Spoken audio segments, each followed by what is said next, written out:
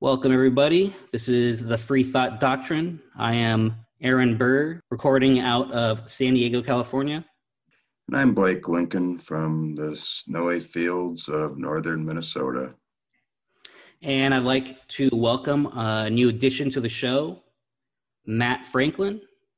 Matt, if you want to say hello. I'm Matt Franklin. I'm in the uh, wonderful state of Golden Waves of Gray or whatever.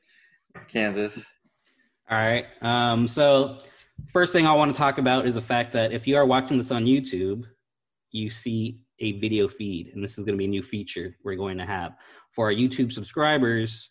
We will now do we'll, we'll record our whole show and then uh, edit it down to shorter segments uh, for viewers to see on YouTube, and the entire audio feed will be available on Spotify for Spotify subscribers. So, with that being said, on YouTube, please subscribe and like our video and uh, hit that little bell thing for the notifications to receive notifications for each uh, new video. Also, on Spotify, please follow us on there too. That is much appreciated. All right, for our next topic, I want to talk about the vision for the show. We've kind of talked about it before, uh, but I want to expand on that a little bit.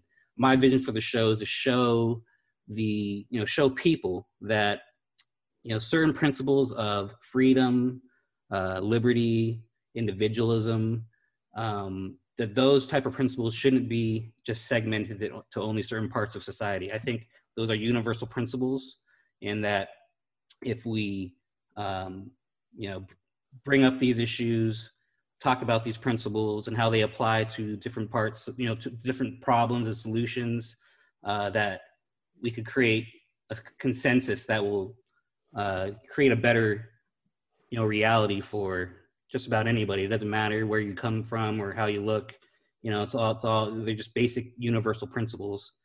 You know they you know to include free speech free thought and i do and i feel like those kind of principles are constantly under attack and i'd like to you know display that one put up a, a defense for those principles and to uh, you know spread that message to to the people in general. That, that's that's my vision for the show. Uh, Blake, what's yours? Well, going just by our title, the free thought doctrine, um, to me, it's all about free thought, whether you're right, left, or center. Um, everybody is an individual, everybody has their own opinion. Um, and all opinions, I believe, are based somewhat off of different experiences. Everybody has different experiences in life that may draw them to different conclusions. That doesn't mean that that person is necessarily right in their opinion or wrong, but when you do have a disagreement or an idea that you know may not be popular or mainstream that doesn't make it illegitimate it should you should be able to discuss these ideas and those thoughts freely and maybe even challenge it a little bit to the point where you can realize that hey here's somebody that disagrees with me. And i took some of his points he took some of mine. And hopefully maybe we can come to a greater understanding and realize that you know a lot of us don't have as much uh, we're not as against each other as we as we think we are. All right i love that response blake. Uh, that's a great vision. Um, i totally agree with you there. Matt what's what's your vision for the show for to succeed? For this show to succeed? Well i always talk about like um, i uh, heard the speaker he uh, talked about how to set like make people go towards a goal and he said like if you're in an empty room and you tell a person like head to that corner from here and they start walking you put a chair in front of them they'll walk around the chair and they'll get their hit that goal. If you just say hey head anywhere and they start walking you put a chair in front of them they'll just either finish kind of figure oh, that's where i just need to be done or they'll just wander off in some other random direction. And never uh, probably never even hit a goal. So you know so i believe that anytime you set upon doing something you need to make like a goal that's not quite unattainable, but something that will take a great amount of effort and time and sacrifice to create. and that for it can be something that you're proud of because you'll know that you put you know as much effort as you knew you could and so i think ideally is if we could actually inspire and change people and get people talking and realize it's us the people who have the power that we don't need to have to worry about people controlling us or leading us or saying that we have to do anything but instead we don't need to be fed all this information that says that we're all so different and we're all so against each other because we voted one way or or we believe something else that freedom is totally set forth by the individual. And as long as it does not harm anyone else or or you do not infringe upon someone else's freedom that you should be able to in good conscience control yourself and be able to be responsible for yourself and therefore do what you want to do without infringement from others because of what they may believe or may not believe is right. A very libertarian answer, and, and I love it. Great, awesome. So, with that being said, um, I think that in regards to everything we just talked about in terms of vision and you know freedom of individual and all this stuff, I think that something that plays into that in our society, uh, in any country, including this one, is elections and the voting process. Um, obviously, we just went through a huge major uh, election, what, a month ago, right? And, you know, depending on your perspective, it was either amazing and great or was completely rigged and stolen or there was shenanigans that went down, but it is what it is, or, you know, one extreme to the next, right? So my question is, what is the status of voting in elections in America today? And where do we stand? Where do we each, like the, of the three of us, where do we each stand on how the process works? Is is there or was there mass election fraud or mass voter fraud in this last election? I I think clearly from I mean, for those of you who have listened to our past episodes, I think there was clearly uh, mass fraud going on um, in multiple areas of the country. Um, unfortunately, you have to be able to prove it. This stuff should have been fought fought in courts months ago before the election. Now, I mean, it, it's way too late. Uh, mail-in ball- balloting to me is a huge, huge problem. Um, I mean, you had so many, so many illegitimate people voting. Whether uh, I believe, what was it? Uh, I, I think in Michigan they were documenting the amount of dead people that that voted. They had like 14,000 or something like 14, 15,000, 1,500, something like that. I mean, there has to be a process. Everybody should should have has everybody in this country has the right to vote, but it needs to be legitimized, and so that your vote is counted and protected. And with mail-in balloting and in the chaos that ensued because of the pandemic, I I don't I'm not entirely sure that it was uh, a legitimate process. Unfortunately. So, but before this election, before 2020, so going to 2016 and back, how did how did you feel about the process then, and in voting in this country? Was, I was still kind of skeptical about it before then. Like you hear about, I mean, like places like Chicago where where voter voter fraud is just it's a business almost. These people have it down to a science and from i mean I, i've stated before that um, because of the pandemic uh, people were able to capitalize on on that kind of chaos. And I believe that was the intention uh, since day one of the, the pandemic. Well, not day one, but that was the plan they were using to to get this accomplished was exactly what we we uh, were discussing uh, in a different podcast where they they were planning to make sure that uh, they were going to use mail-in ballots to to fix the election. Whether or not you can prove it or not, I I really don't know. But the fact that both Trump and Biden had, you know, broke the record for for uh, voting uh, vote, just voting totals, just it's a little bit suspicious to me. True, true. So, Matt, what's what's your uh, uh, perspective on this? I agree uh, a bit with Blake. Like, I I agree that uh, if this election was rigged, then so pretty much have I believe that all most all other elections have been rigged in some way, shape, or form. Um, I, I, I, was, I didn't know about this particular subject that was going to be on tonight, but there were a few resources that I've looked up that you talks about the electoral college and how some people say, well, everyone's vote is is worth something. It's like not, but it's not equal in every state because yeah, if you did have the popular vote, then it would be New York and California choosing every election. So you can't say that a vote in California is worth as much as a vote in Wyoming, where there's far less population and they get more more voters that. So it, it is true, yeah, you're taking away from those two major population states, but in fact, you're actually putting into like kind of three Midwestern and Southern states.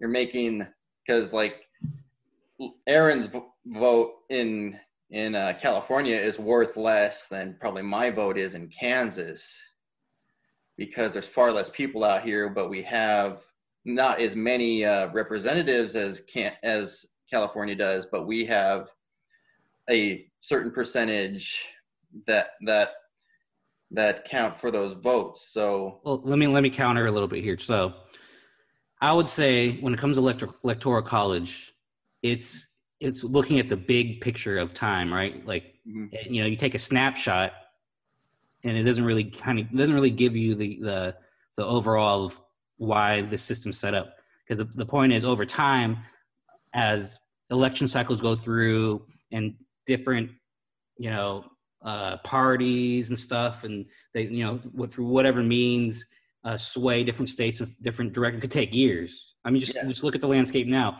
Yeah. My vote is actually that's that's what I'm saying. Like the only way that you're going to be able to prove that all this is wrong is if somehow all of us had an ability to like turn a light bulb above our head that's shown a certain color, and then you could take a picture from space and say, here's actually what the country looks like. And if it looks more red or more blue, then you give it to that per- person, right?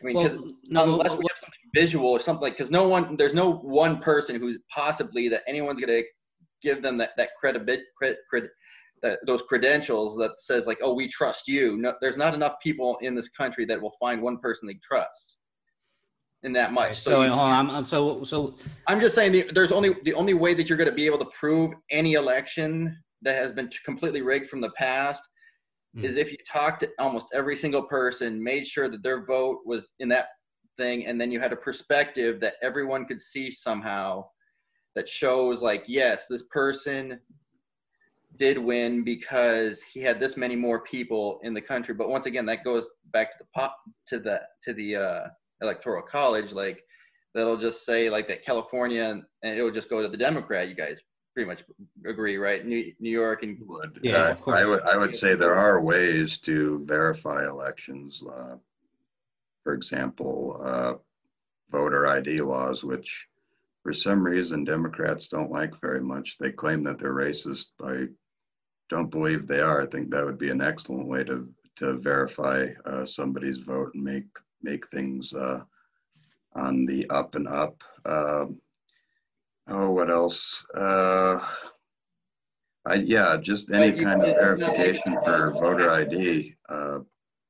I really think there needs to be some sort of reform uh, and on that front, just just for everybody's sake, not what what your party politics are, but it has to be there has to be something done to make sure that the process is legitimized for everybody's sakes, no matter where you stand on any issue.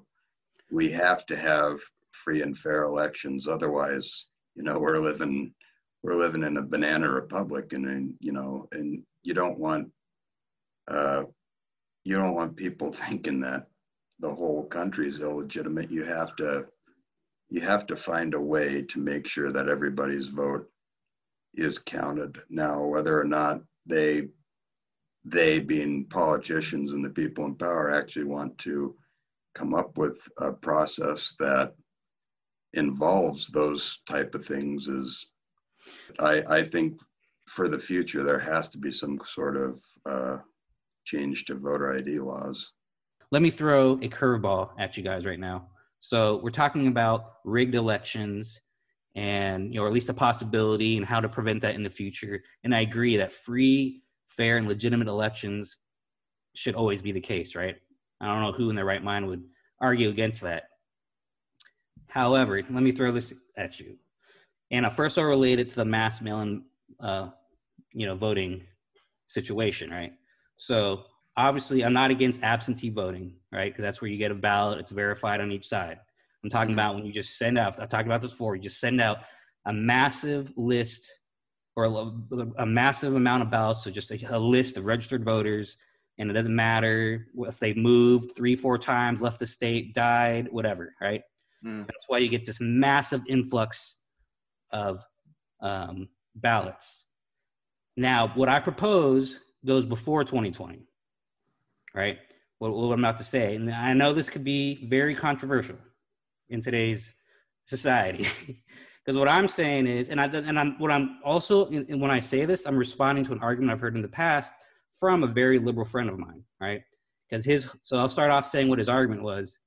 He was saying that politicians in power, and he was really kind of pointing at, at the right, like Republicans, but politicians in power want to reduce the amount of voters, right? They want less, and that's why they come out so hard against uh, voter ID, right? Because they want maximum participation. Mm-hmm. Citizen, non citizen, they don't care. They want massive that's what's so, or excuse me, they don't want that. They don't want massive voting, right? Um, yeah. You know, there's there's someone arguing from you know, kind of pointing at the right, like, oh, you know, the right Republicans, like they don't want uh, more voters. They want less, right? Of course. Yeah. Yeah, exactly. So hold on. So what I'm saying is I agree. With, I agree with what he's he's. So I agree with his accusation, but I, like, I'm not arguing against his accusation. Like, okay, true. Um, it's like true. you want right. less voters. I want less voters. exactly. That's what you're saying. Yeah. I, what I'm saying is I want less voters, and why? Right. It, okay. The question to me is why. So the reason I want less voters is because I want informed voters making educated decisions based on facts and logic. Right. I don't want these emotional voting patterns based on I want more free stuff. I want more hand because I think the, the, the moment that the people realize and they probably already have that they can just vote themselves free stuff regardless of other consequences. They don't think beyond I just want free stuff, whether that free stuff be physical thing like materials, massive government programs, payouts, whatever. Right? Once they once they're like, oh, I can just vote in for a process to get free whatever, right? It, you're going to the lowest common denominator at this point, right? And to me, you know, it's, it's, it's kind of like the democracy versus, you know, constitutional republic argument, right? It's, or, you know, direct democracy versus a representative republic argument, where you get all these people in completely uninformed. Here's the thing if you're not informed, if you don't know what's going on, and you're not voting based off principles and, you know, beliefs based on philosophies and and science or whatever, I don't want you to vote. I don't want you to vote. Right? I hate that. Oh, go vote, go vote, go vote. Which they always literally mean the people who I'll say nine times out of ten, the people that say that they're saying go vote for Democrats, go vote, go vote. LeBron James, go vote, go. He's, ta- he's talking about one segment of society, right? Because he's right. That's but that's. I mean you, that that is their right to vote. Nobody, I mean, you can't deny anybody. I'm not saying deny. I'm just saying if you're not informed, don't vote. Like, do the country a favor. Right. Yeah. I, okay. I, That's what I'm but saying. is but would you have the same argument to say, okay, if you don't want to work, go die? uh, well, depending on uh, no, but if there's a certain reason, right? Because you could um, uh, there's exceptions to every rule, right? I see what you're saying, but if it's I don't want to I don't want to work because I simply don't want to work because I'm lazy and I just want free shit, then sure. Right now, if it's because I have an illness, because I have these certain things. No, no, no. Yeah, obviously, if you have an excuse like this, this is just very blanket, black and white question here. Yeah. You'd rather people die than them not working if they are capable to work. As long as this, it, it's it's more of a situational uh, mind thing, right? Like If they're just like, hey, I just want free stuff from society and I want to do nothing, I'm fully capable, of no illness going on, no family situation, whatever, then sure. I mean, I'm not saying I want them to, but I'm just saying if it came to those two extremes, sure. Mhm. Yeah. Well, but okay, what about somebody who's doing something to hurt society? what do you, well, well, Like they, uh, they have a job, but they are like, uh, fraudulent, being fraudulent? yeah, or, or yeah, or among other things. There's a lot of ways in our society where you can be a piece of shit person and make a lot of money. Well, I mean, it just depends on what the situation. If it's something that's against the law, then okay, I want the law to come down on I mean, uh, uh, child, child, uh, tra- uh, sex traffickers. What's the question? What- sex what about 'em? traffickers. Like, I you want them. I want. Would you rather people? d- Would you rather sex traffickers die than do their jobs or exist? Really? I mean, to me, it's not a matter of dying, but I would like the legal process to go into effect and whatever wouldn't that just consequences are deemed by. Huh? Wouldn't that just cost money? Well, certain things are probably worth I'm just, worth I'm just spending money what location is good. All of us have a different perception of what, like, obviously, I believe doctors are a good job, and I think they are compensated well enough, and among a lot of other industries. But at what, where do we draw the line? Like, I understand the legal industries and the illegal industries, but there are some illegal industries. Like, I, the only laws I agree with are ones that affect our freedoms and our safety. Of course. I don't agree that like yeah, even though you have the freedom to, you should buy a nuclear bomb online, detonate detonate it over your 50 acres of property or anything like that. But I mean, well, I mean, I, the percentage of people that would argue that was, was very tiny. You know, right? I- now, people will use that and blanket other people with that, and attack Yes. him is kind of a psyop type of thing. But in reality, the pers- the percentage of people that will make that kind of argument is is, is minute, right? Like that, that's not a reasonable thing that most reasonable people and rash, you know, rational people will argue. I Really, Just, uh, I think the media paints us all out to be a bunch of morons who go like to the ri- most ridiculous ends and like are rioting in the street over like toilet paper. Mean, That's what you saw all summer, right? Like Yeah, shit, we're out of true. toilet to paper. play off God, to play off what what Matt just said, uh, to Mhm. go back on topic, uh, for example, you want to talk about how they they view us all as a bunch of morons. Well, I believe that's intentional. You go back, look at the education system. Do you think they even teach civics in in school anymore, K through twelve?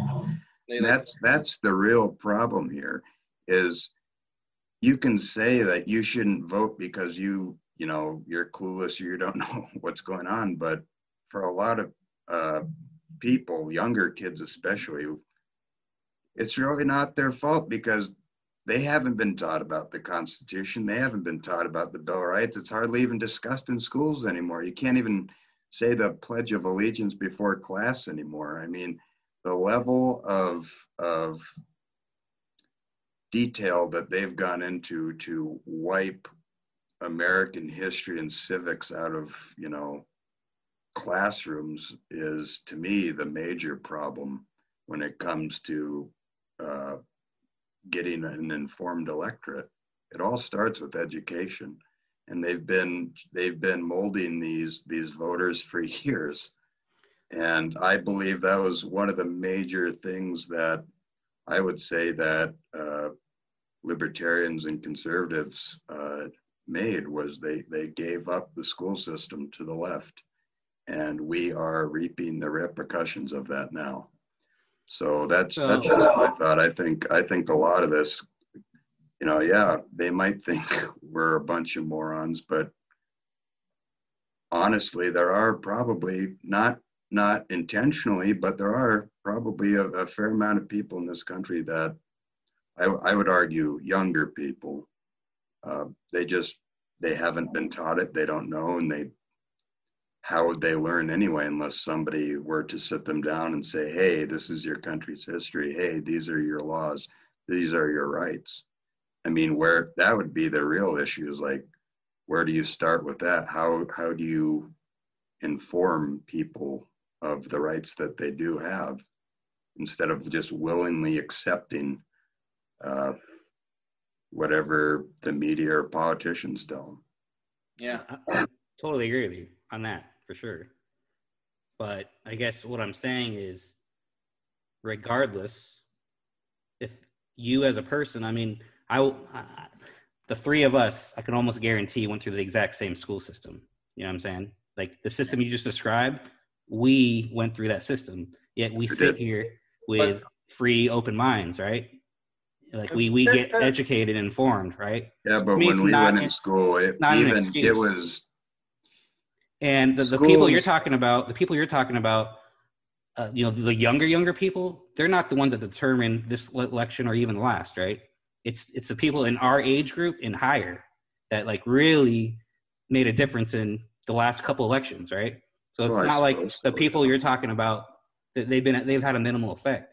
You know, it's it's, it's suburban suburban people like they use the term suburban housewives and stuff like that. Like those are right. like a huge portion of the vote, right? So those people went through the same school system that we went through, yet we have educated ourselves and informed. Right. You know, we make informed decisions, do, do we not? So what That's I'm saying right. is, why do we give excuses to all these other people when we went to the same exact school system?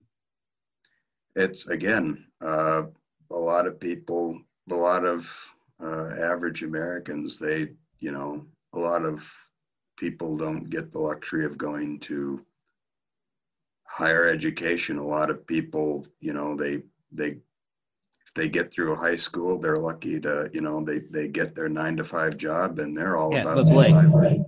They're not thinking about voting right. I'm just telling you. But, but like what I'm saying is, a lot of the we went through the same higher education things. We made a choice. It was the in, That's the bottom line. Is we made a choice, and I'm I'm lucky to say for myself, like I uh, was around people when I was growing up that uh, that were very involved in in in politics and things like that. But quite honestly, uh, I really got in, involved with uh, all of these different issues and my my understanding of everything because I just had a basic interest in American history.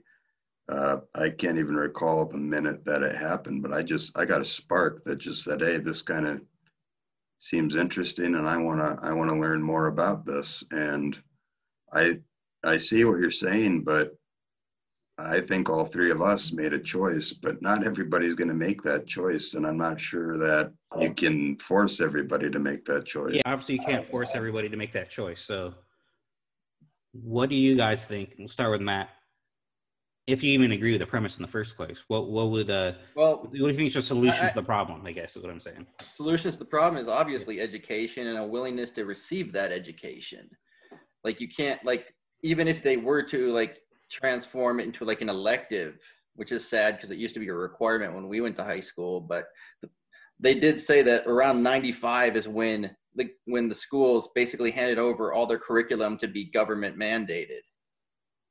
So you had this uniform across the board. This is what it's going to be. I think it was like the No Child Left Behind thing, or kind of right in that, that area. 2000s. Okay. So, but here, here's my question though: Is we're saying they needed to, they need to make. How do we make they well, change the um, situation. We got to put more money into educational programs. So your solution is more money.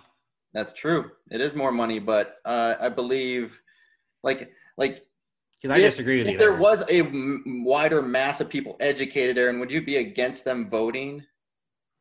Like even if they voted like maybe for their own demise, they're like, yeah, we need more social programs. Even though I've gone, I got my doctorate and I go to, the, like like all this other no because i don't equate that's what i'm saying i don't equate uh, you know getting your doctorate with being an informed educated voter. Yeah true you know but let's say they were doing like let's say they followed pretty much the exact path that you're taking.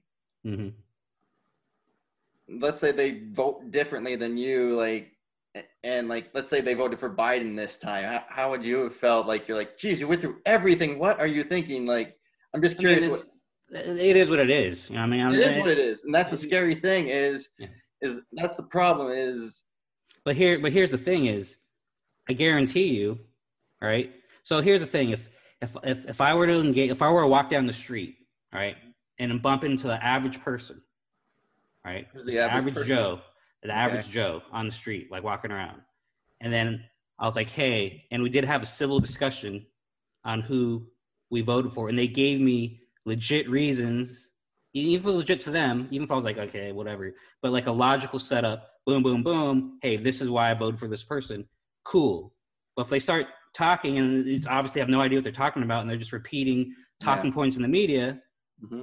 then I'm gonna be like, okay, this person's obviously not informed. He's not educated. He's just following whatever the popular thing is on, on TV to say. Yeah. And, and there's plenty of man on the street videos. There's hundreds of them, thousands of them of what I'm talking about, right? You could easily find them on YouTube or Google. Yeah, I can Google splice it. them in right here. Yeah, you can splice them in right here. Bunch of them where it's obvious that these people aren't educated. It could be college level, especially the college level people, but even just normal people. I mean, it was like Jimmy Kimmel and one of the other late night shows did this stuff decades ago, right? Yeah, the same thing. Man on the Street or yeah. even uh, David Letterman. David Letterman, yeah, exactly. So it's not even like it had. Again, obviously these college students are in exactly what you know Blake was talking about, but you could go back like 20 years and there's people that are doing the same thing, right? I don't look. I don't judge. I've said this before. I don't judge you on who you voted for. I'm not going to treat you differently. It's not the who. It's the why. It, it might be the why, right? And even then, I'm not saying I'll treat you bad, but I'm just it might change my judgment of you, right? If you yeah, start giving me cross, very uneducated reasons, like don't cross Aaron in a dark alley. Who'd you vote for? yeah. But I'm just saying, if you get, you know, it, it just comes down to reasons. People have different political viewpoints and stuff, right? That are legit right? There's a left and right and a center and different degrees, different degrees of libertarians for a reason, right? Everybody has their, their reasons. And I don't mind coming up against someone who completely disagrees with me and votes for the complete opposite thing if they have their reasons. Now, I'm all about trying to poke out, you know, holes in their arguments as, as such as I would expect them to do with me, not turn out, you know, hyper hyperbole attack, right? But that's how I see it. Yeah. No, I, I just thought of a funny scenario where you're talking to a person, you're poking holes in their reasons, and they're like, "Well, shit, I already voted." Oh well, and they walk away, and you just be like, ah, "I could have had him if I got him before the election." you know, so a professor once said to me, right, and I was in a uh, a class, and it was a very very far left professor. I don't, I don't know about far far, but you know, he's obviously on that persuasion of things. Uh, he was a uh, he actually passed away in the last year, so you know, may he rest in peace. But um, one of the, the greatest things I guess he said to me was, um, "You may not change someone in their viewpoint." Like, so it was in a class it was about editorial writing, right? Right, writing commentary. Um, you know, like you know, may not like change someone's opinion and change their mind or convert them, but if at least for one second you could break their confidence, then you won. And that's all. Sometimes that's all. I'm, I'm not asking to convert you, right? Okay. If I could break I, your confidence for one second, make you question your thoughts make you question your thought and you know and sometimes it happens to me i mean we're all human beings we're all susceptible to that kind of thing um and that's that's happened to me and i hopefully i've done that to others yeah right? i hope that i uh, admit when i'm wrong and conceive to other arguments where i think everyone else is an idiot but me no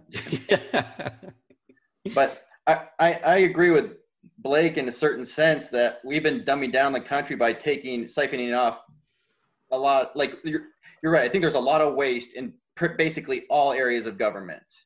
Mm-hmm. But I think we are all deserved of a decent public education, at least to some standard. It, it shouldn't have to be that the only valued education in this country is through private education because not everyone can afford that.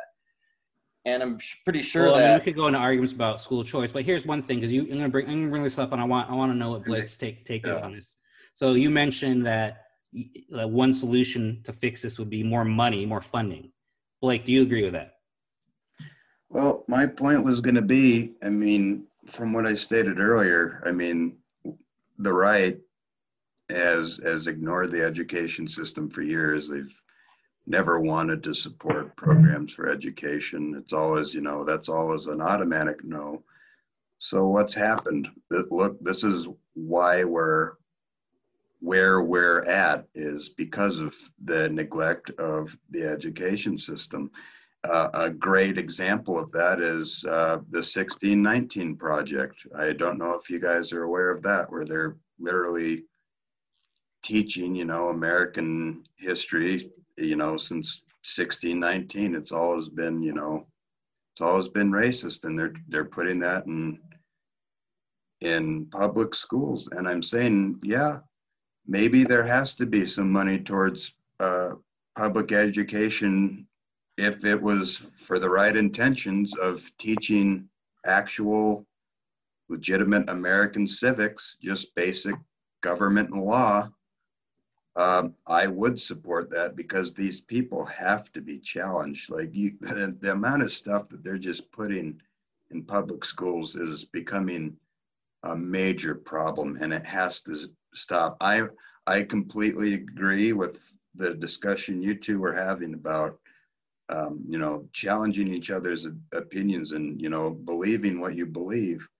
But I, I agree with as long as you're informed, and and all I'm saying is that should I, I believe there should be public some sort of public funding because nothing else is being done at this point. If we can at least teach kids basic, basic government and law, not not politics, but basic government law, the Constitution, and the way the country is set up, then children will be able to grow into young adults making more informed decisions on what they want to vote for. I disagree with both of you on the funding because what you're saying is the same people running these schools and the same teachers and the same unions, the same overly bureaucratic system that is teaching these kids the things they're teaching them and not teaching them. Hey, let's give those guys more money. I don't think that's the answer. If anything, we need to threaten them with cutting funding. We need to help hold, we need to give them incentives and disincentives to move in the right direction. We need them to fire entire school boards school administrations, rid, them, rid themselves of school unions, whatever it needs to be to wipe out and clean the whole the whole uh, slate and start over and re you know get get the right like hire the right people to hire the right people right and it doesn't have to be political but like hire the right people that will change and put these classes and, and these lessons into effect, just like the, the stuff you're talking about, right? It doesn't have to be political, right. but the problem is the system is corrupt and overly bureaucratic. Totally and you have is. tentacles running it, and you're saying, "Hey, give these tentacles more money." No, it's so, that, oh, maybe we'll agree what they say. Sure, no, no, they need to be wiped out. Right? The reason is that's that's the teachers' unions. Look, that's I agree. The only, it's a lot that's the only reason. Even uh, even the CDC and Dr. Fauci say that schools should be reopened. They're not. Do you know why? Teachers' unions. Exactly. But, uh, to play off your other point about you know we, we shouldn't have any funding, I believe even even President Trump has signed legislation to promote a more patriotic patriotic education for for students. Is that correct? Is that something I? So it that did happen, but, remember. but but that did happen. But again, schools are run by you know local boards, right? Local school boards. They're the ones who like dictate what's going on. Right. Yeah, the unions play a role there too. It's kind of like a dual thing, but at the at the national level, you can only do so much, right? It's a lot of it's the unions and national bureaucracies that are in place right now the, the national level has a lot more power than you think. That's why kids are learning Common Core math. It's, it's, I'm not saying they don't, but I, I call to abolish the, the Department of Education. So when I say cut funding, that's what I mean. Like, let's get rid of the the, the the, the Department of Education, which used to be a very libertarian and conservative thing that they kind of gave up on for years. The, uh, the late 70s, 80s, early uh, 90s. That was a thing that let, let uh, Republicans and libertarians ran on was to abolish yeah. the but you know, Reagan even said that. Right? It never happened. and the opposite happened. Thing. What Reagan happened? Yeah, it was Reagan's huge thing. Then Bush came in and he had no child left behind and only gave him incredible, incredibly much more power. Right? It did the opposite effect. It blew the bureaucracy up even stronger. And that's the thing. And that's one thing that Reagan used to say too. The bureaucracy only fights for the bureaucracy to make it bigger, stronger. And that's exactly what happened. Well, that's the course, and that can play back to what this topic was all about in the first place is being informed. And we're talking about voter fraud, and that statement that you just made wraps it up. The bureaucracy only supports the bureaucracy to make it stronger. That's why that's why they cheat. It, it they're in it for themselves. These people are making millions of dollars, if not millions, thousands of dollars it's the only profession where you can go in, you know, making, you know, nothing and coming out a millionaire. It's it's unbelievable. But that last statement you made just it wraps it up. It supports itself. It's And whether you that that's got to come down to the bottom line is how do we fight that? Because it's a big, big swamp. So speaking of swamp, right? We can make the argument that you know the swamp won the election, right? You, you can make that argument. The swamp won the election based on what you're saying, rigging and and all the stuff. So say the you know say the swamp's candidates, which in my in my opinion the swamp's candidates were was Biden and Kamala, right? Say that it all goes through in what two weeks, three weeks from now, Yeah. Or yeah, well, like when when the when the votes come in or whatever, when the final votes come in. Yeah. So that would make it a Biden Kamala presidency. Will it remain a Biden Kamala presidency? Yeah. That's my question to both of you. Uh, we all know that. I guess if you don't mind, Matt, I'll, I'll go first and then I'll let you. But I do believe that the president elect um, had an interview with CNN. Uh, what was it on Thursday? And they asked him, they were asking him, you know, softball questions like they always do. About his cat. One of the one of the questions was, what what happens if you and Kamala Oh, yeah. ever have a disagreement? And his response was so bizarre. He said, Oh, I'll just develop some disease and say I have to resign. I mean, how, what a bizarre thing to say, you know, when people are already wondering about that. Like, So, so what he said was uh, he he essentially did say that, but what he was saying was he was referring to when him and Obama were in the presidency, right? They were, he was saying that, oh, we used to have disagreements all the time or something, and that was really weird. I mean, it probably was a Freudian slip, uh, what you're saying, but I think he was trying to relate it. bizarre. it was, I think he was trying to relate it to the when he was vice president with Obama and trying to relate that situation to this situation, but it came out weird. Uh, I mean, yeah, I guess so. But if- Uh, but if- it's just a weird thing to say, it really is. Uh, but this is a guy who we're all aware makes lots of weird statements. So I, I, I was just really taken aback by that. Like, why, why would you say something like that? You're gonna be, you're gonna be the most powerful person in the country. Wouldn't she be the one to go? Like, why? It's just, I don't see again. I don't know if he realized he was saying that.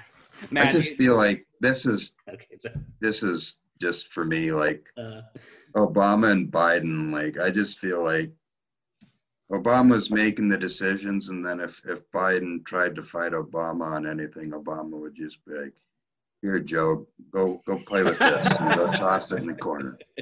I just I I don't think uh, anymore that Joe Biden. He used to be a you know capable politician. I mean, he's lasted in that town for years. I just you don't think he's all there? I don't think he's all there, and that's not that's not meant as a as a personal attack. It's it's it's based on what I've seen. The guy just seems um, off. Like I, my own grandfather, uh, on my father's side, suffered from uh, dementia in his later years, and it just I. I'm not saying he has dementia, but there's something something off in his cognitive process where I I would be surprised if he made it through four years. All right, I understand. Um, before I say my piece, Matt, if you want to throw your two cents in there. I think, yeah, somebody's gonna take him out, and everyone's gonna blame Camilla, but they'll be like, "Oh well, maybe it wasn't," and it will pass us by like a transition fade in a star, or like a, a shape fade in a Star Wars movie. We'll be like, "What? Oh," and we'll just continue on, and be like, "Okay, that just happened." All right. Well, that may very well take place. The way I see it is that this was planned from the very beginning, right? The, the puppet masters at, at that be Yeah. made this like Kamala. She, her campaign when she was running for president failed miserably. She ran out of money, and right before the first primary, she, she resigned her whole campaign before a single vote had taken place because she wasn't. The odds were she wasn't going to take anybody. she was the first one to drop out, wasn't She she? the first one to drop out, and, and my She didn't opi- even get, she didn't even get one percent of the vote. Yeah, exactly.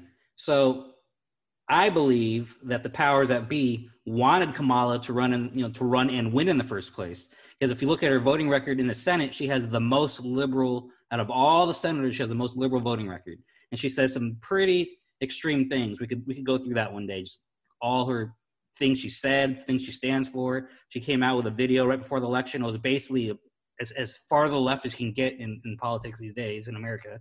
It was, you know, it was, it was essentially hardcore socialism. If, if you watch the video, it was like a campaign video. So they knew, the, the powers that be knew that there was no way in hell that uh, Kamala would win the election, right? That she would have been destroyed if she was somehow to have, them, you know, been pushed through through Yeah. whatever means to be the candidate. She would have been, she would have been crushed. I So mean- she was a sneaker candidate. They got her in, you know, they put her in with Biden on purpose. And then about in October, so uh, mid to late October, Nancy Pelosi came out and started talking about the 25th Amendment. And those of you who are not aware or familiar with the 25th Amendment, that's a means that they passed if a president is going through some kind of cognitive decline, the cabinet, you know, could come up and they basically send a letter to the Senate saying, hey, the president can no longer function in his duties excuse me, and then he, you know, he's he needs to be removed, and he will be removed, and then the president has X amount of time. I think it's 30 days or 90 days to send another letter to the Senate saying no, I'm good, and then they vote on it or whatever. But she started, she brought up the 25th Amendment process, and even mentioned that she wasn't even necessarily talking about. She straight up said, you know, this is not this, this doesn't have to necessarily even be about Trump. So it's more about the process in the future. So I think this was all planned out, in that either at some point I'd give it about one to two years, probably before the next uh, election, the uh, midterm elections, that either they will invoke the 25th or they'll just talking him into stepping down due to health reasons. That's what I It would be after the midterms, I think, because. before, well, maybe shortly after. But if you yeah i agree with what you're saying it's uh if you look at her past too she's she's on the soros payroll uh she she's all all for any program uh that's that george soros has been behind she has been she is backed 100% in california well, I mean, she's Yeah, a so- product of California, which is Yeah. one party rule, anyways. Yeah. Right. So she never had to face a challenging moment in her career at all. So Yeah. no i agree with what you're saying it's and and again biden and we'll get to matt uh, i just again going with what you said and what what i said previously like they're taking advantage of biden really they're just they're he's like uh he's just a vessel to to promote their agenda that's what i believe All right, Blake, you were talking about the interview last Thursday where the, you know, where Biden was in, a, in an interview and they're asking him softball questions, so on and so forth. And basically, you see a preview of what the next four years is going to look like if they do take office, right? It's going to be, you know, one-sided, um, how great they are. Basically, a, a, basically a version of what it was before Trump with Obama for eight years, right? Um, what is your opinion on the press and the you know the media and the mainstream media? Do, do you, so I see them as Trump made the statement "enemy of the people," and a lot of people were offended by that, but I've always agreed with that. Um, I used to wear a hat that said "the press is the enemy" on top of it, and uh, so I've always felt that way. That the that especially during these last four years, they you know the mainstream press was essentially an appendage of the Democrat the Democratic Party. That's my opinion. How how do you see it?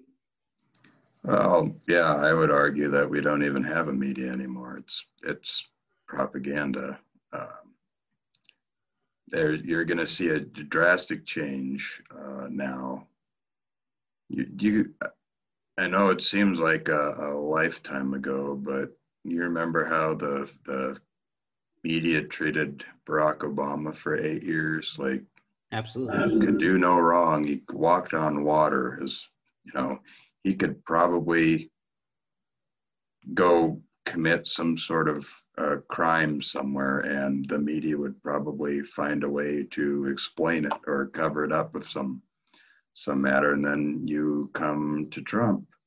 And it was a complete 180 is this the most negative uh, i mean day after day just nonstop nonstop trashing trump. And to me it's it, that's that's not a free and fair press. A free and fair press would be taking all all politicians and holding them all accountable, not just the ones you agree with. Yeah, sure, okay, so Trump said something stupid, fine, absolutely. Question on him, say, question him on it and say, why did you say this? Allow him to explain himself and then report it. But I mean, they just, we don't have a, a, a fair media anymore. And that that's a real problem for free speech. And it's a, major problem for free thought because the press is what keeps or what used to keep the people in power honest. And now, in a lot of ways, to me, it seems like the media controls the politicians. Like they're they're in the driver's seat, and these people are just really spouting whatever, you know, uh, Zucker on CNN or wherever else, whatever they want to say, because they're that's their easiest way to make money and uh, make ratings. It's really unfortunate, and I know with Trump he made it really personal with the media from the big beginning, and so that probably spiraled out of control. But even before Trump, it's it's been like this for for decades. Just look at the way they treated George W. Bush. They hated Ronald Reagan. The media is slanted to the left, whether you want to admit it to, or not. It it is another arm. To me, it's another arm of the Democrat Party, and that's got to change. You have to have, like we were talking about the education system. The same thing applies with the media. You have to have a fair and free press to get actual truthful information out so people can make informed decisions. It's as simple as that. Matt, do you have a different opinion on this? Well, I think we do have a fair and free press. Nobody watches it. It's called PBS. It's funded by the people, really. They don't answer to anybody. I mean, I don't know about PBS corporate. I've never worked for them, but I do a show that I try to keep keep it just from my perspective. I admit that I'm not a journalist, but I interview people that are in the field doing what they do that are professionals, and I try not to take any sides on it. And yeah, I see a lot of skewing on every media format except, well, even including some others, but including PBS. There is certain aspects of it, but but there's a certain aspect that isn't like they're the closest you're going to get and nobody watches them because they figure they're either too liberal or too conservative because i've heard both sides and so the problem is, is like what people want to watch is they want to hear things confirming what they believe. Definitely. And so they're choosing what they want that won't make them have to kind of fight with themselves or their emotions or their mentality internally. So they fight against what might be good for themselves. You have response? I would, yeah, um, I agree with a lot of that. I would, I would argue with uh, not notwithstanding PBS, but I'm I'm talking more of like I would say major made the major corporations, CNN, MSNBC, the the people that are you know they've got heavy heavy backing. They're the ones that really have the power and sway, and they're the ones um, calling guys, the shots.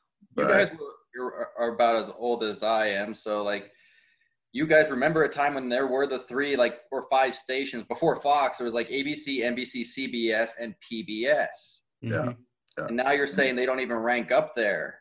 When... No, and and and to go on that, look at look at what these stations. I mean, if you were to, and and this is something they all have in common, whether it's Fox or CNN or whoever. Uh, if you were to turn on their channel right now, I bet I could I could flip on Fox right now, and you're not going to get too you're not going to get a news anchor on there reporting about current events or news. You're going to see two people yelling at each other. That's all it is. It's people, and it's not even a civil debate. It's people yelling and screaming over each other. And if that's not a, a reflection of what's going on nationwide, I don't know what is. Um, it's and to me, it's it's not even news really. They're more just it's a lot of it's propaganda, but a lot of it too is just that these people they don't think themselves as journalists; they think themselves as entertainers. So my take on it is I agree with both what you're saying, but um, I think that the first of all, it has been going on. I would say forever. I think it's been going on since because uh, human nature, right? Like the, the job of a, of a journalist is to be just to report the news, but you're innately going to already have a bias, whether you know it or not, right? Just your perspective is going to affect what you do regardless, right? And uh, so you always had the big three, right? You had, like we mentioned, you had NBC, CBS, ABC, and now you know the legacy media, and they basically were the uh, what's the word I'm looking thinking of, like the I can't think of the word right now, but it's like the like like an honor guard or a bodyguard of I can't think of the word right now, gatekeeper. They were gatekeepers to information, right? Especially you know, think pre-internet, right? They are gatekeepers to information. You know, outside of doing your own personal research in a library with books, they were like the gatekeepers of information. Uh, you know, daily news, political events, whatever event, right? And they they owned it lock, stock, and barrel. And then later on, in the you know uh, late '90s, you did have cable step in the well, it was pro- actually probably late late 80s, late 80s, early 90s is when you essentially had Fox News and CNN come you know come come into play and they played their roles, right? And I to say at first CNN did at least attempt to look like it was down the line, right? And Fox always skewed to the right. Uh, that's how it gained its follow its, its, its following mainly because, like I was saying, naturally those legacy media and you know they kind of slanted to the left. I'm not saying they're a hardcore left, but they definitely slanted to a more culturally accepted left perspective. And they had Fox News that kind of blatantly came out in a more conservative approach and they gained their following and then you had the internet and you had websites like drudge report and other things breaking stories and it kind of changed the landscape right but i think what's happened recently is now you have and i would still throw in abc cbs nbc C, uh, cnn msnbc and fox news where the difference now is they say you know you know, outside of the uh, straight up, you know, Sean Hannity's and Laura Ingraham's and stuff like that, they, they, they, they make the point, they make it sound like, oh, I am fair and objective, and I'm only telling you down the line, but they're hiding the point that they're blatantly giving you one perspective, right? They hide it, and they try, and they think people are dumb enough to like, oh, this is this is what it is. This is this this, this is the center, you know, viewpoint. When really it's super skewed and on purpose, right? They basically defaced the term journalist you know what I mean? There's plenty of examples we could go through on videos where it's reporters, like reporters giving these extremely opinionated, uh, you know, dialogue. And it's like, wait a minute. You would think if you didn't know anybody, like, oh, that must be like, you know, a Sean Hannity type, maybe of the left or something, you know? And then it's like, no, that's just a reporter. And he's giving like a hardcore opinion on anything. Like especially with Trump, right? That oh, there's there's comments like, oh, it's the end of the world, you know, Trump did this or that or whatever, and it's like, okay, that's an opinion, and you're but you're a reporter. You see what I'm saying? There's a difference. Well, you remember what it was like in the newsroom when we were working at the when we were working at News 13. The main stories did not come from local. We like the the so-called journalists that work with us did not get their stories from anywhere but like a news desk that shipped down the main stories. Yeah, they did. Yeah. Occasionally, we were sent out to the occasional fight or car accident. True. So that just tells it, you. It, it all comes down from on high. Yeah. All that information came from some other place that said, this is what you'll be reporting today, and here's like some three filler spots, find some area for that shit. Yeah. Yep. You're 100% so if, correct. So there's no way you can inform a public properly if you are not do not have eh, journalists who who have their the the public's ambitions at heart not their ambitions but there's like the basics the understandings of what right wrong right and wrong is and evil and good and understanding that like hey this fluffer piece about how this kid uh, did a bake sale in front of his yard so he can earn money to uh, pay for his orphanage papers or shit like that is not a happy story. It's actually very depressing. or No, other but it would be a happy story. The media would love to cover it if he was fundraising for Joe Biden and he sent all Exactly. that No, money. they did cover it. They did cover it. It was, and they portrayed it as a happy story. Like, look for this kid, good oh, entrepreneurial spirit, and and it's like, Yeah. doesn't that mean that there's a system broken somewhere where this poor kid couldn't even afford to get a family because they couldn't afford to pay for the papers for him? Like, this is a f***ed up system. Yep. No, And but and that's why I think it's funny that they, you know, to Trump, you know, they they started this thing, you know, they they they call themselves the resistance, right?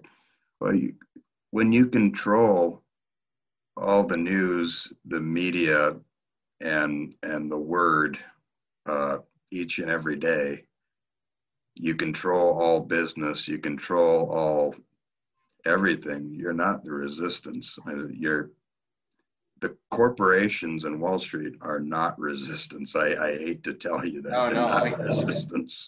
of course not. They're in there to make money, and that's what they're doing. And and that's that's that's the bottom line. Is that's it's to me it's it's all about making money, and what Matt uh, alluded to is the the word comes down from on high, whether So, that's from their their their board members or whoever it may be. It's not there is no uh, free press, not not on not on cable news anyway. And I think the reason they've got so, uh, I guess for lack of better words, the way they are, is because of things like what we're doing, podcasts, YouTube, the rise of the internet. There are other ways to spread information now, and they really, really don't like that. Whatever they can on their platform to get to get their uh, their message across to the people that, for some reason, still watch them. so one thing I want to talk about are solutions, and that's definitely part of the solution is the alternative means of giving out information, right? However, what is a solution to take on? And I have, I'll give out an opinion, not necessarily my opinion, but an opinion that I've heard. A solution to fix the situation, because one of the primary issues that I've heard people relate to me is that the media and the press they lie. They they, they blatantly lie constantly all day, lie after lie, and that they're not held accountable for their lies, right? That they just totally get away with it. And even if they do make a correction later on, it's you know small and it's quick and no one rebroadcasts it. You know, like they, they don't the lies the lies go on, right? There's so many of them out there from the last few years. You know, from like the Charlottesville lie about Trump. You know, he said find people on both sides. If you listen to like 20 seconds more of the the, the feed, he condemns white supremacists straight up, but they never mention that part. You know, just that's just one example of like thousands we could probably list. So what I've heard, the opinion I've heard is that you know in those particular situations, why doesn't like Trump or whoever, since the since they have to have since these these entities have to have broadcast licenses and such, like why don't they revoke their licenses and you know prevent them from broadcasting, you know, to the masses? Like I've heard that as a solution. What do you think about that solution?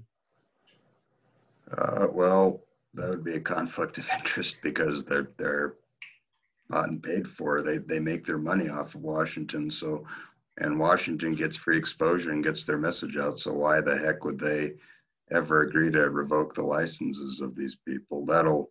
I mean, that's that's a great solution, but uh, there's too many too much money uh, trading hands between those two parties to ever have that happen. That's the same.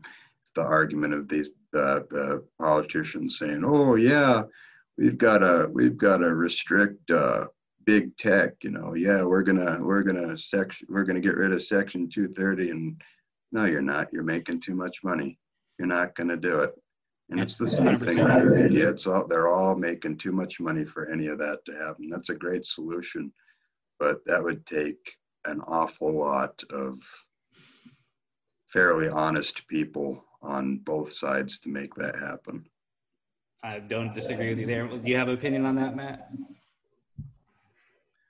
Well, I think we journalists aren't the only ones that have a problem with accountability and being held accountable. I think just about everything in our society does. Not just people, but even things. Like if you look at like uh, certain things that are sold even to our military that end up being like later, like were you in the military between these dates and suffered this? Well you probably used this thing that they gave to you because somebody in in the government had a brother who worked for the company so they gave you all these crappy things. Well now most of you have head injuries and if they were caused because of this thing you can sue them through a class action lawsuit that'll give you a very small portion of what they earned and still have today because they were blocked off by, from being held responsible by a company that they made a name over so essentially, like, yeah, how do you hold anyone accountable these days when you have people that are doing horrible things and are making tons of money off of it? And we're like, hey, isn't this wrong by most standards, most even religious or moral or amoral or belief standards? Isn't like pedophilia and molesting children wrong? We're like, yeah, but these rich people were doing it, and there's only a few of them, so we can ignore that. And you're like, no, wait a minute, no, we're not going to say that's okay for just these few people and, and they're like, yeah, let's just go on to something else and forget about that. It's all like a smokescreen. Like whenever they're telling like the big Trump story, you look at like, well, what happened to Epstein, or like that's kind of coincidence that he killed himself during the only few minutes that the camera wasn't on at his cell. Like what a coincidence. That all disappeared, didn't it? Yeah, yeah and, and, and, yeah, but so you look at they're just throwing like these big sm- piles of smoke screen. So maybe I don't even know. Maybe Trump is the greatest actor in history, and he had an exact line and plan of how this was supposed to go, and this is how it's supposed to go. And he was like, "Yeah, I was supposed. It, we were we said that we had to get rid of so much of the population, and so we had this disease go about. And I was supposed to tell them that they're supposed to follow the mask rule, but I'm supposed to also tell them that they're not supposed to follow the mask rule. Because because Aaron, you know, entertainment, that's what they tell you. Like, yeah, make this person cry, but make them happy. What? what? And you're like, how do I do that? You're like, yeah, they make them cry to, sad tears, but they're going to be really happy about it. And you're like, that's because they want the audience to get. It's all about empathy and feelings. They want the viewer to feel like they, they have a connection to that story, and therefore they will tune back them. in. Yeah. They want to make sure that they're not paying attention to what's really going on because if they realized what the real situation was, then they would try to take action on their behalf. Yeah. So you just remind me. I was, I was listening to another show and they brought up a uh, a question. I, I want to share the question because and they they're not going as deep as I'm going to go with the question, but um, you know, because you kind of brought up you know a couple things in there you just said. But w- what about this, right? Um, you have so you have the situation. It's going off topic a little bit, but I just it's more of a thought experiment, right? Um, and again, to be fair, I, I did hear this on another show, but I want to expand on it. But the question is, or the situation is first, is you have the um, you have you have Trump, you have the economy is going well, right? Uh, the Democrats tried several attempts to take him out, you know, whether it was impeachment or Spygate, you know, all these other things we can talk about later. And I remember in January, when especially when he gave his uh, State of the Union speech, I was like, wow, he has like everything going for him. Like the economy's roaring, like you know, like at least at face value, everything looks really good. And then you have, you know, the, even at that time, there was already talk of, you know, COVID, or you know, they called it coronavirus back then in in Wuhan. There's like talks, but he mentions it in his speech actually. If you go back and listen to it, and then it kind of spirals and spirals, and it, essentially you know, then you have March come March and it's lockdowns, and you know you can see Trump's resistance to it, right? Because it was like, hey, we put a huge brake, you know, slam the brakes on this economy, such and such. And we've talked about this before on the show, where you you know they weaponize the pandemic, that you know, and we could even discuss this in the future. That one reason Trump may have lost was because they used Corona to basically scare enough people to vote against him, right? Uh, uh, at least in, terms of the response and the whole time you had and i know personally like and i and i held these views too of but from a lot of conservatives like oh you know like oh they're, they're super hyping up this virus because they're trying to shut down the economy so that you know makes trump look bad. And we're talking about education. A lot of people don't understand that it's governors and mayors locking down economies. At least one half. Governors and mayors locking down economies and jobs losing and they're gonna they don't know, understand that's a local regional thing so they're gonna blame trump And then other, the other half of that is, well, Trump didn't respond fast enough, so those mayors and governors are forced to do this, and, such and such. And so basically, every conservative I knew, especially the older uh, boomer conservatives, right, were saying, "Hey, uh, you know, there's all BS. You know, Corona's being either Corona's either complete hoax or at least being super hyped, right, to make all this happen." And so I know a lot of, uh, you know, and, I know a lot of conservatives in my life, and a lot of older ones. I know Blake does. I'm not sure about you, Matt, but they definitely held these views strong to this day. And I'm not saying I don't, but here's here's the thought experiment. What if it was Obama in power this whole time, right? And the coronavirus came, and what if he was like, oh, and say he was up for reelection, say he just did one term, you know, and say the economy was doing relatively well. Probably, probably would have never been as good as Trump's per se, but just say it was doing relatively well, where you could say he has a roaring economy. And here comes a virus, and he says, you know, because the thing is, we just talked about the press, and they're so against Trump that they drove that narrative so hard, right? That he was screwing everything up. So now you have a press that's, uh, you know, bows down to the presidency, Obama, and so he says it's not a big deal. Don't stop. Don't shut down the economy, right? So now it would be. So think about it. With the same conservatives now who say, "Oh, you know, it's just you know, it's been super hyped. Oh, this is a complete hoax, and oh, this is being used to take down the president, and blah blah blah blah." would they be making those same things or would they not be saying, "Oh, look at the president's making no big deal. People are dying, and he's doing nothing about it. We need to be locking down these economies, and, and everybody's getting sick and dying, and they're just hiding it." Because, in my opinion, I think that's what exactly would be. I think the same people, conservatives, would probably, if it was the other way around, be screaming that, you know, how dare Obama not do anything to take care of Well, the situation. the- I could be the wrong. I could be wrong, but I just feel like that. the actual thing that you just the scenario that Swine you flu. presented actually happened with the swine flu. I don't know if you guys remember uh, back in those years when they had the uh, the swine flu epidemic uh, that was going on. It got pretty serious. Uh, obviously, uh, there weren't nearly as many um, deaths worldwide or in the country. Um, but the swine flu got pretty nasty, and that was during the Obama years. And the media basically announced that it was out there, that you know, uh, see, but that I'll- I'll they were taking why. care of it. They didn't. They didn't hammer. You know, yeah, there were no shutdowns. There was no panic. Yeah, yeah, it was a nasty, nasty uh, flu and, and virus going around, but there wasn't this this hysteria is totally something that you could catch and die from, but there was no no hype around it. It- But I want to want to mention one difference though is look at the, the the overall situation though, right? When that happened, there wasn't this. That was early. One, that was early on in his administration. Two, it wasn't what seven or eleven months, whatever. it was. Let's see, March three. So seven months before an uh, election. All right, there wasn't a concerted effort for three and a half plus years of all these attempts of one side trying to take out the other. You know I'm saying? If anything, the, the Republicans were so weak during that whole situation, just like they are anyways, right? And finally, they had their thing that they could punch Trump with, right? So what I'm saying is, if it was the other way around, with the, all those other things in place, would conservatives right now would be super hardcore, like, oh my God, this is a real thing. We should be freaking out and locking stuff down.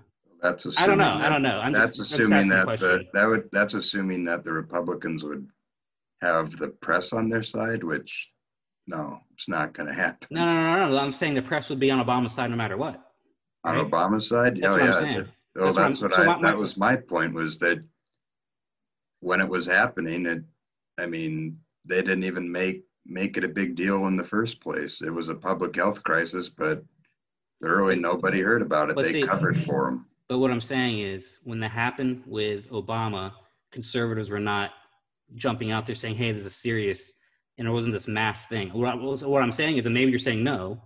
It's if this happened the other way around with this time, with the situation that happened preceded it, and say it was just the other way around. You know, say it was Fox News the whole time, boom, boom, boom, boom. it would it would it be just like it was in 2009 or would it, would it be similar to now where it's just roles are, are swapped what, what's your take on it matt yeah that's a good question um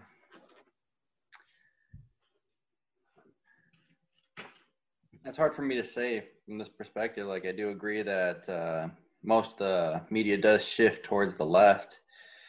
Um and basically yeah like the same eight people own every single channel and are buying every single form of media so they're just going to switch it to how they want. Um, it just kind of reminds me of 1984 where they just start changing every word of everything. Every time they eliminated a person they would go back and i mean you can do that now with all pretty much all forms of media that that's what i think is kind of scary like no matter where we post this there's a possibility that it might get taken down because these are saying that something that's not correct or true according to the guidelines that they specify.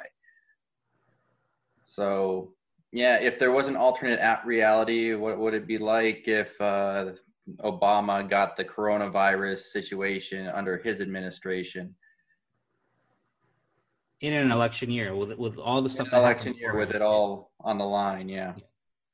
Definitely seems like an interesting coincidence that it happened the way it did, but but I, it's in, I find it interesting about like how people are still reacting to the pandemic right now. Like I hear about the big cities and everything, but I'm out in the middle of nowhere, and um, people in this town still deny that it even exists or it's even a problem. Which I don't know. I've heard a lot of people being quarantined. Some people getting fairly sick. Some people getting very sick.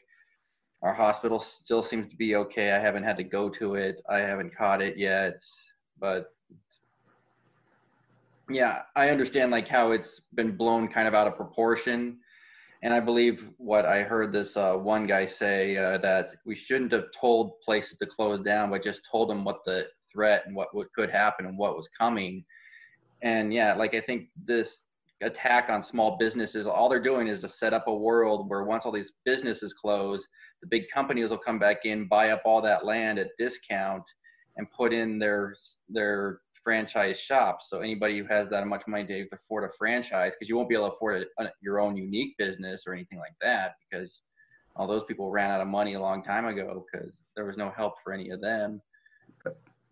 Well, I That's mean, exactly this, right. Because I uh, I was in a, a fairly large town today, and the shopping mall, shopping mall, public place, completely packed with people everywhere. It's like couldn't find a parking spot. But then across the street, the mom and pop restaurant and the bar are closed.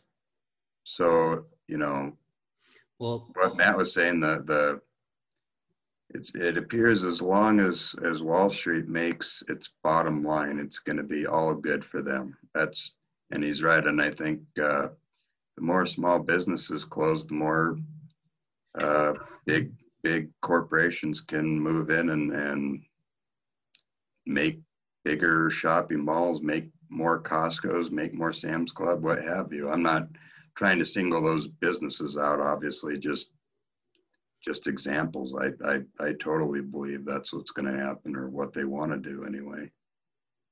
So um, if you look at, I mean, I'm kind of going in a different direction, but, um, and we could have you know a three hour show on this subject alone but if you look at uh you know in the last what eight nine months the biggest massive transfer of wealth from medium small businesses to major corporations you know mega corporations has happened in the last seven eight months uh, and there was another statistic i read uh, i want to say it was in the last like three months or so more small businesses have closed permanently than in the 2008 crisis, right? So, and also that we've had a massive transfer of power and rights from the individual and the citizen to the governments, right? Whether it be state, local, or federal.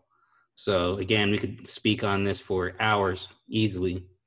And I wasn't necessarily trying to go in that direction, but it was more of a thought experiment of bouncing off what we were saying about the press and you know would would things be flipped if certain other entities were in power compared to what happened. Um, but yeah, I mean, in this situation, there's talk of the Great Reset. You know, there's so many different uh, ways we go with this in terms of an unprecedented, you know, uh, seizure of of rights and, and, and just control on the population. You know, what, what where you fall out on masks, and one thing you can't deny is masks definitely have you know control. Definitely is is there with with masks, and you know when you're in a um, I would argue, like you said, you know, you're in a in a packed place in, in your small town or whatever, or larger town or whatever, you know, but you come to somewhere like California where then you're not, you go to LA, you're not even allowed to walk down the street, right? It's, it's a lockdown. You're literally not allowed to go for a walk. Like the only way you can leave your house is to go to an essential business and back, you know, where, where they even banned outdoor dining, you know what I'm saying? So, you know, where, where they, they'll, they'll shut off your power if, and water if you're throwing a, a party at your house. You know what I'm saying? So it's definitely regional in that sense. And by regional, I use I mean like in blue one party Democrat, you know, controlled areas. And I know that in you know here in San Diego, it's not as strict as say LA.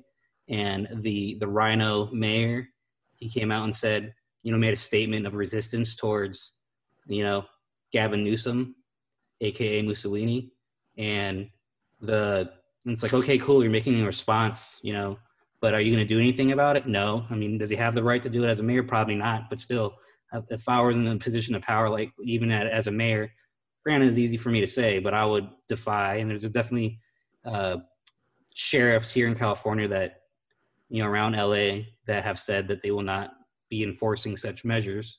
And, you know, I'd like to think if I was in a position of power like that, I would be saying the same thing. But again, we could talk about that for hours. So, if you guys, I don't know if you guys have been uh, enjoying what you've been listening to. Hopefully, we provided different perspectives on the issues we brought up. So, just so you guys know, we have a lot of things lined up that we want to talk about, uh, different subject matters, everything from you know a vaccine mandated society, guns and firearms. Uh, talk more about lockdowns, the state control.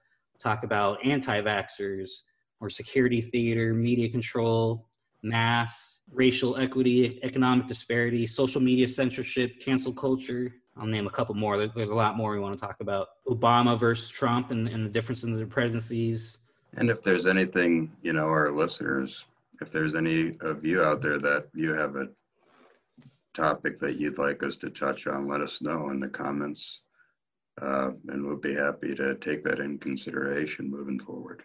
Absolutely. Uh, one way you can do that, again, we this there'll be a version of this on YouTube. So please, again, like and subscribe. Hit the little notification bell. Please leave a comment with uh, any ideas. Also, an email available if you want to email some stuff is uh, aaronbirdpodcast at gmail.com. You can send uh, comments or questions that way too. All right. Well, uh, thank you for listening. This is the Free Thought Doctrine.